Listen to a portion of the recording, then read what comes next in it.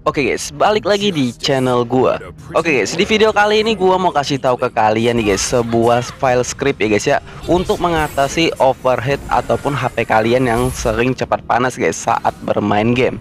Nah, seperti yang gua bilang ya guys ya, untuk fungsi dari script file kali ini itu untuk mengatasi overhead ataupun HP kalian yang cepat panas aja guys. Nggak ada fungsi lain ya guys ya dari script file kali ini.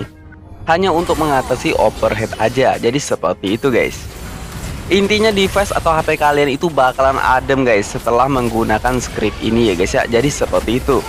Jadi buat kalian yang mau coba dan mau download scriptnya langsung aja ya guys ya. Kalian download, link downloadnya gue simpan di deskripsi video ini guys.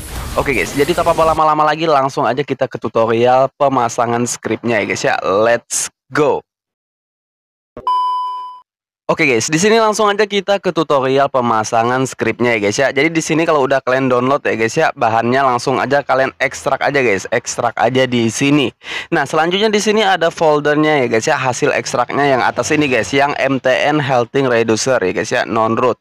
Nah, di dalamnya itu ada dua bahan ya guys ya. Yang atas adalah file script untuk mengatasi HP kalian yang cepat panas itu guys.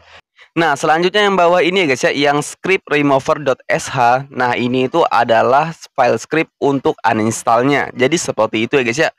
Untuk aplikasi yang kita gunakan guys untuk flash file scriptnya ya guys ya adalah aplikasi MT Manager guys. Nah nanti buat kalian yang belum punya kalian bisa download juga ya guys ya. Link downloadnya gue simpan juga di deskripsi video ini. Nah di sini langsung aja ya guys ya kita ke tutorial pemasangannya. Nah, di sini guys, kalau kalian tuh udah ekstrak ya guys ya, langsung aja kalian pindahkan guys buat hasil ekstraknya ini. Nah, folder MTM Healthing Reducernya ya guys ya, ini kalian tandai aja seperti ini guys. Nah, selanjutnya di sini kalian tinggal tahan lama aja, terus kalian pilih salin ya guys ya, atau potong.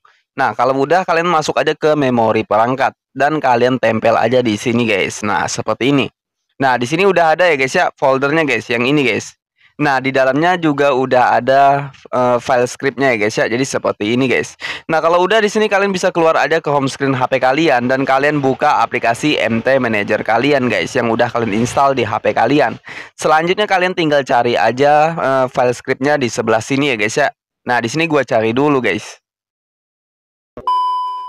Oke guys, kalau udah ketemu di sini langsung aja kalian flash yang atas ya guys ya. Nah, caranya kalian tinggal klik aja seperti ini guys dan kalian tinggal klik aja execute guys. Nah, jadi seperti itu. Dan di sini kalian tinggal tunggu sebentar guys ya. Nah, di sini enter your device name. Nah, jadi di sini kalian isi aja sesuai dengan nama HP kalian masing-masing ya guys ya. Kalau HP ku adalah Redmi 6. Jadi di sini aku isi aja Redmi 6 ya guys ya. Seperti ini guys. Nah, kalau udah kalian tinggal klik aja enter. Dan di sini guys, kalian itu tinggal tunggu aja ya guys ya proses install scriptnya sampai selesai. Nah, sambil kita tunggu ya guys ya, di sini bakal gua jelasin lagi guys ya buat fungsi dari file script ini ya guys ya. Nah, jadi guys untuk fungsi dari file script MTM Healthy Reducer ini ya guys ya, hanya untuk mengatasi overhead aja guys ataupun HP kalian yang cepat panas. Jadi nggak ada fungsi lain ya guys ya dari script modul kali ini guys atau file script kali ini. Jadi seperti itu guys. Nah, jadi di sini untuk proses penginstalannya udah selesai, guys. Nah, kalau udah selesai tampilannya itu seperti ini ya, guys ya. Nah, kalau udah seperti ini kalian bisa klik aja enter ya, guys ya. Dan di sini kalian bisa restart atau nyalakan ulang HP kalian, guys. Di reboot ya, guys ya setelah kalian install file scriptnya.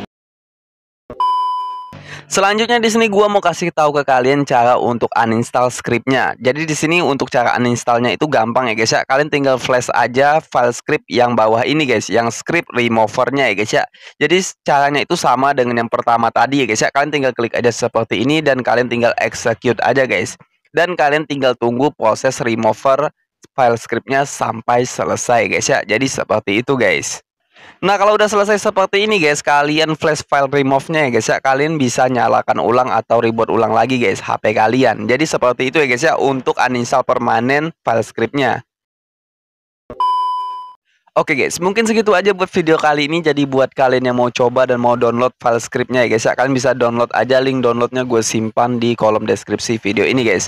Dan buat kalian yang suka dan video ini, jangan lupa kalian klik like, comment, dan subscribe channel ini. Terima kasih guys, see you, bye.